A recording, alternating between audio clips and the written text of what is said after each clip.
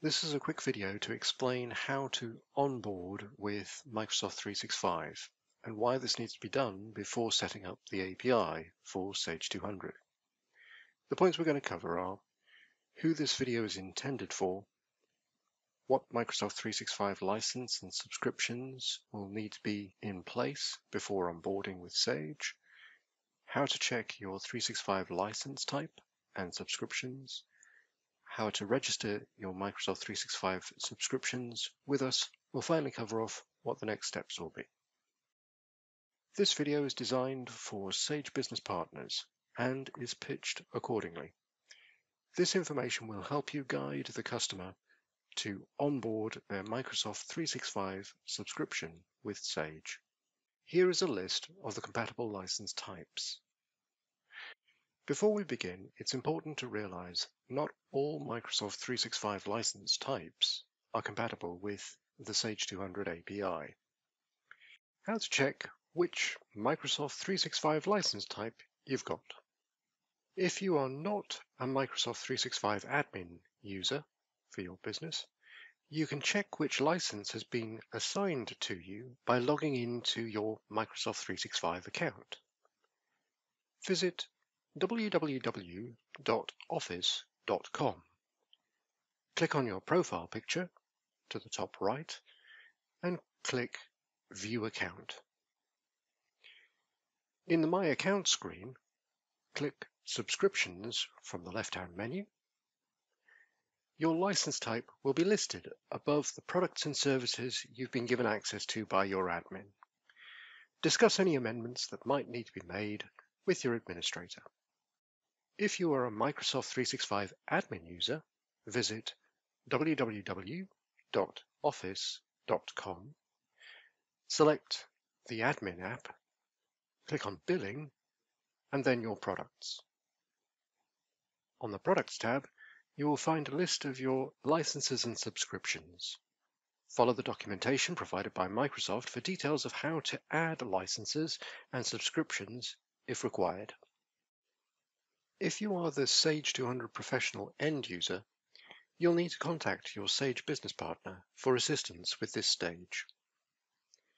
If you're a business partner, you'll need to email bpsales at sage.com and request a form to allow you to register your customer's existing 365 account with Sage, or download the form from the Partner Hub. You'll receive a form by email Fill it in with the customer's details, their account number, and Microsoft 365 subscription contact email address. You will also need to include your details and account number. Once returned to the address detailed on the form, Sage will issue the Get Started email to the subscription contact. To ensure the email sent to the subscription user is not trapped by a spam filter, please add Sage Solutions Administrator no reply at ce.sage.com to the customer's safe senders list. If the email has not been received within 48 hours, contact the customer's IT support to check they haven't quarantined the email or it hasn't been trapped by the spam filter. If the email has not been quarantined, contact Sage Technical Support, who will be able to check which email address was used. Technical Support can change the email address held if needs be and resend the email. If the Microsoft 365 has been purchased from Sage, you will first need to agree to the Microsoft Customer Agreement. The customer will click on the Confirm Access green button in the email. If prompted, they can reset their password. They may need to return to the customer agreement email to click Confirm Access again.